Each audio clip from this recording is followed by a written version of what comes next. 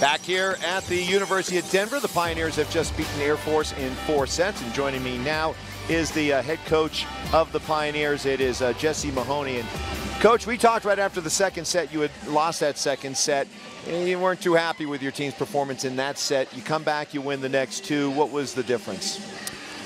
You know, um, we're, we're very good offensively. We're really efficient. Um, and I think we just kind of ground Air Force down. Um, through the end of set three and into set four. Um, we're passing extremely well, and uh, our setters started to mix things up a little bit more. So we kind of it was kind of turned into a horse race, and we outraced them a little bit. That all important third set, your senior, your only senior, Sarah Schmidt had a really strong set.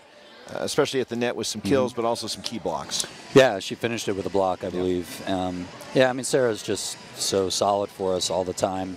Um, super efficient um, makes good decisions.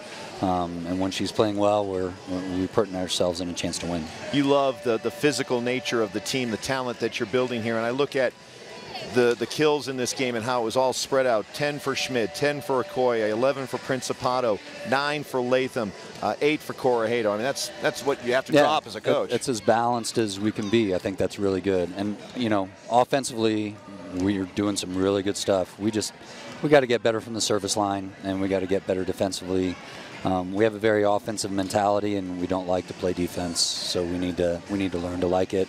Um, it's going to catch us, up to us at some point if we don't make a change. Two for two uh, on your home floor in this tournament. You get Villanova tonight. Quick turnaround for your players. Yeah, absolutely. Um, Villanova is uh, a very good team, obviously, and uh, we've seen them a couple times. We'll we'll get we'll get some food and watch some film, and we're right back at it. Seems like uh, any minute now, but it'll be a good match. And we'll be back again tomorrow with you guys on altitude for Western Michigan. Look forward to that, Coach. Thank you very much. All right, thank you. Jesse Mahoney joining us here courtside. We'll come back and take a look at some of the highlights, final numbers from this uh, match as uh, Denver gets the win over Air Force.